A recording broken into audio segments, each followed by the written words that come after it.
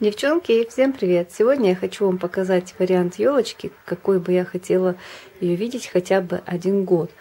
Но так как мой сын постоянно просит игрушки своего детства, то каждый год мне приходится ее наряжать традиционно. Поэтому давайте я вам покажу, пока она у меня так недельку постояла и обрастет потом игрушками моего, даже моей мамы и моего сына детства. Давайте приступим. Значит, здесь у меня на моем камине, как вы видели уже, то есть я вам показывала этих оленей в мастер-классе. Здесь у меня носок висит для подарков рождественский. Здесь вот у меня подсвечники. И вот такая вот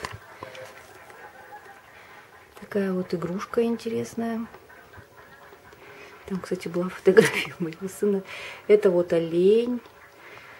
Рождественский елочка, которую я сама сделала. И подсвечники рождественские такие вот есть у меня. Красивые. Ну и тут Дед Мороз, в которого там внутрь можно поставить свечу. Вот примерно так у меня выглядит по-праздничному мой камин. Ну, а вот моя елка. Я на ней не зажгла огоньки, хотя на ней две гирлянды сейчас. Но я хочу вам без огоньков показать ее, какой бы я ее хотела видеть. Вот такой вот.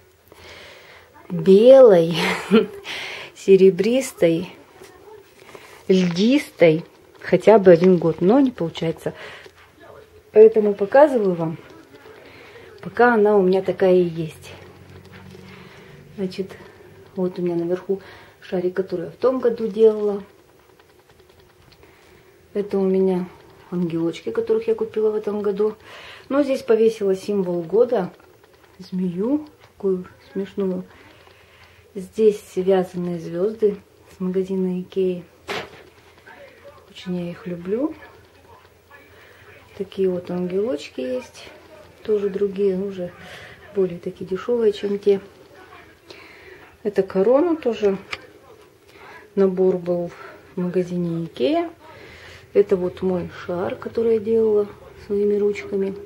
И, кстати, на разные елки пробовала, но на зеленой все-таки они смотрятся лучше. Здесь у меня такая вот еще протянутая гирлянда. Она на... Ну, как это называется-то?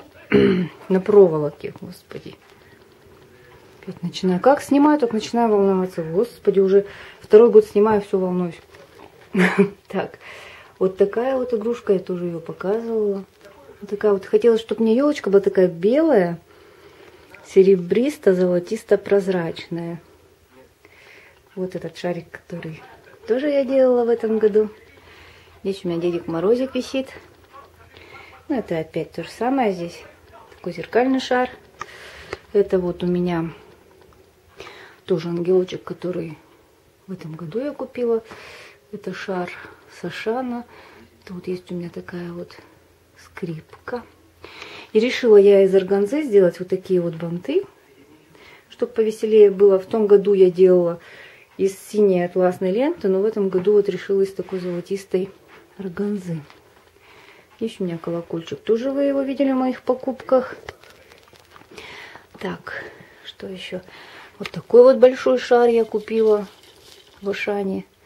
Такой заснеженный тоже. Этот шар я делала в том году.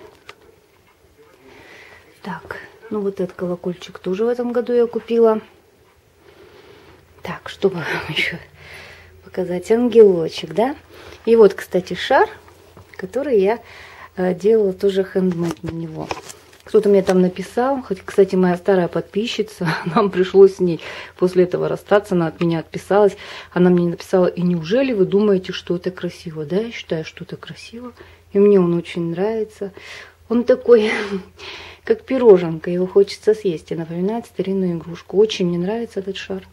Очень я рада, что я его сделала собственными ручками. Очень красивый. Как муж говорит, кто не поднимет хвост пудику, как не сам пудик. Вот. Вдалеке, как бы. Не удается мне вдалеке показать. Ну, в общем-то, смысл вам понятен, как бы я хотела ее наряжать. Вот так вот она мне, конечно, больше нравится.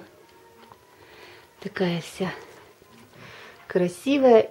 И в следующем видео я вам покажу окончательный вариант, который уже запрашивает мой сынок. Всем спасибо за внимание.